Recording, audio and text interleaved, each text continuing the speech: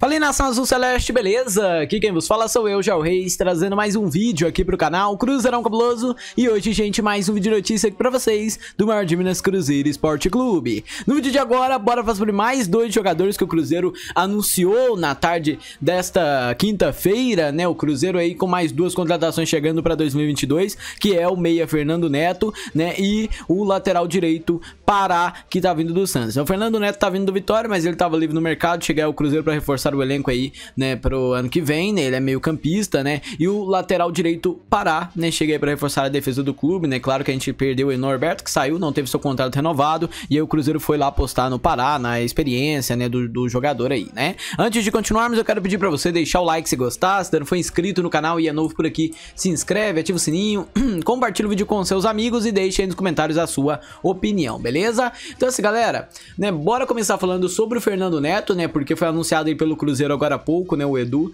né? Que tá vindo aí do Vitória, né? Ele que tava livre no mercado. Tava, a última partida dele foi no Vitória, nessa Série B. O Vitória que foi rebaixado, né? Pra Série C, né? Mas o Fernando Neto foi um dos destaques aí da equipe do Vitória, né? Ele fez aí, uma boa temporada lá no meio de campo, né? Foi aí um cara que participou de vários gols aí da equipe baiana, né? E participou aí muito bem da temporada, fez muitos gols, né? Tantos que vocês aí podem ver aí nos, nos nas skills, né? Que eu coloquei pra vocês assistirem, né?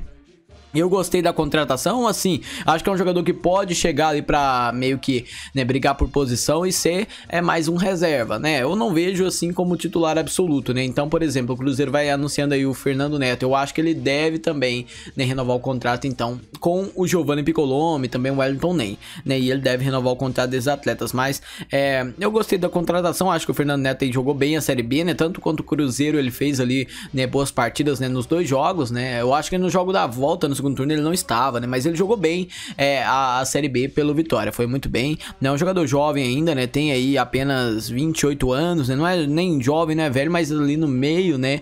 É, e claro, né? Cheguei para reforçar a, o meio de campo cruzeirense, né? Que já perdeu o Marcinho, né? O Giovanni Piccolomo tá com o contrato acabando e ainda não sabemos se vai ser renovado ou não, né? Mas o Cruzeiro já chegou anunciando aí o Fernando Neto, né? Então assim, galera, bora falar também sobre o outro que é o Pará, lateral direito que vem do Santos, né? Hoje de manhã o Santos se despediu do jogador aí nas suas redes sociais e agora ele já foi anunciado pelo Cruzeiro, né? Tá chegando aí pra lateral direita. No meu ponto de vista, ele chega para ser titular, por mais que ele tenha aí 35 anos, é um cara aí, né, que vai é, pro fim de carreira, mas eu acho que nesse ano do Cruzeiro, no ano que vem, ele chega assim para ser titular. Se ele não for titular, o Cruzeiro deve ele improvisar mais uma vez o Rômulo, ou deve dar uma briga legal entre Rômulo e Pará. Pra mim tem um Raul Cáceres também, mas ele corre meio que por fora. Eu não sei se ele vai conseguir acompanhar o ritmo, né? Mas, claro, né? O, o Pará vem do Santos, vem livre no mercado também. Outro jogador que chega de graça, né? E, e eu acho que é um, um, reforço bacana, né? Até hoje o Cruzeiro anunciou um montão de jogadores, né? Chegando vários atletas. A gente fez um vídeo aí sobre três